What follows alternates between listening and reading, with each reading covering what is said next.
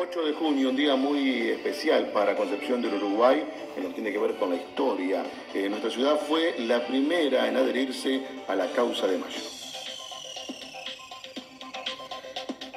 El 8 de junio de 1810 llega a la villa de Concepción del Uruguay la circular del 27 de mayo, enviada por la primera junta constituida en Buenos Aires, el histórico 25 de mayo de ese año a los efectos de anticipar sobre aquellas nuevas autoridades instituidas y de enviar representantes para sumarse a trabajar con estas nuevas autoridades.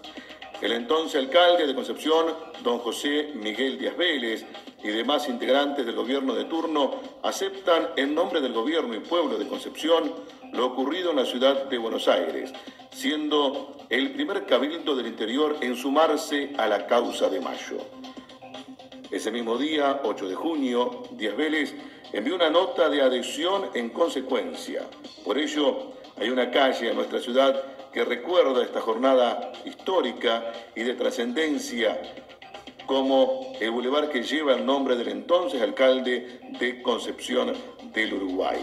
Más tarde, el lunes 30 de julio de 1810, las autoridades locales convocaron ese día un cabildo abierto y con la presencia de destacados vecinos como el papá de Urquiza, Urdina Rein, el señor Andrés Calvento y otros, terminan designando como representante de esta localidad ante la primera junta al padre José Bonifacio Redruello, cura párroco de la Inmaculada Concepción.